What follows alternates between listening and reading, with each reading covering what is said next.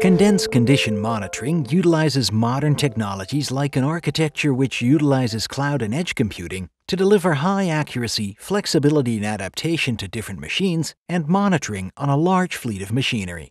To make monitoring and setup practical and straightforward, we provide a selection of monitoring concepts for typical industrial assets.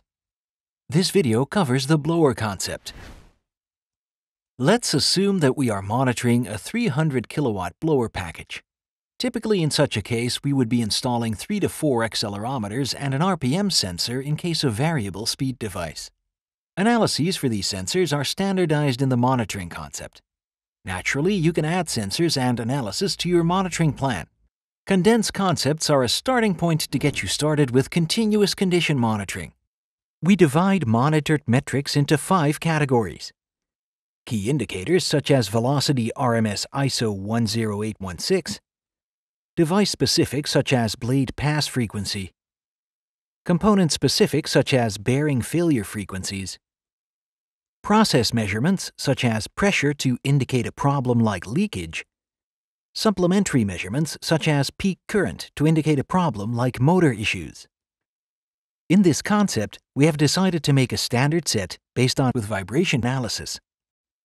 We will focus on this method and rule out, for example, the process measurements. Condence dashboard consists of four principal components. Status map to give a quick overview, notifications window to present messages and alarms, trend views which track the metrics for the device over time, and additionally other supporting components like activity monitoring. Next, we will see how all of this is shown in the user interface.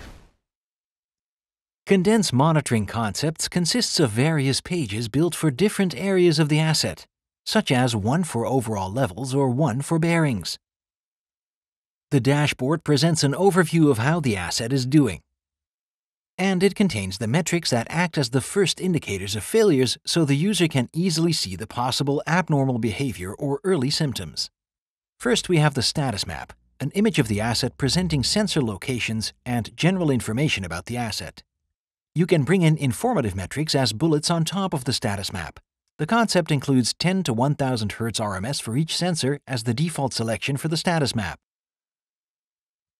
Next, we have the notifications display. As its name implies, this component shows all notifications and information during the selected time range. These are user preset informative and suggestive notifications showing the concerned metric, timestamp, severity, what has happened, and possibly what to do next. Next is the trend views.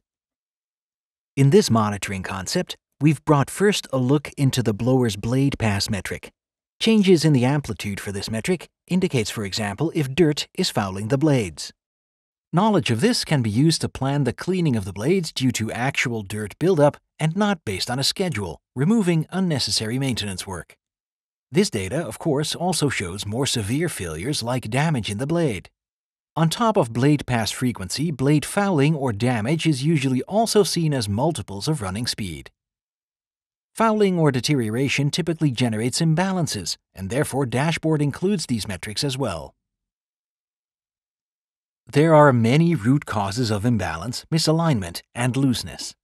Therefore, it is vital to monitor them.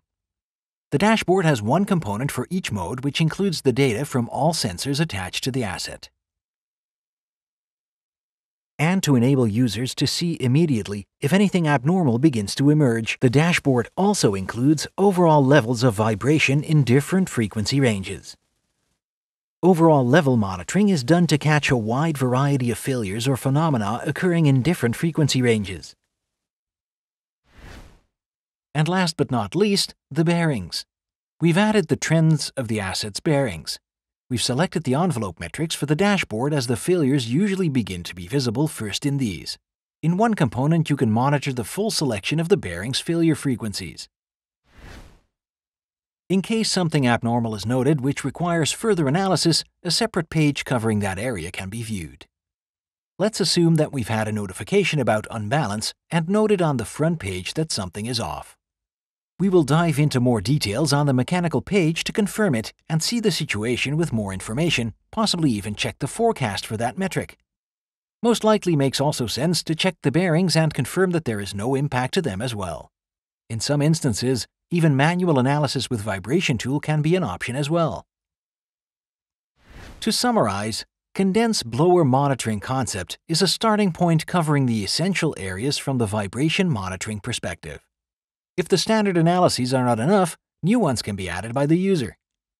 These additions can include further vibration analyses as well as new measurement types, such as motor current draw measurement. Applying accurate online monitoring to your mid-range equipment enables you to free time from routine tasks and improve the operational efficiency of your team. High accuracy will also provide the lead time needed for the allocation and planning of the task, and also to make repair and replacement decisions systematically. If you would like to learn more about Condence and what it can do for you, book a demo session today.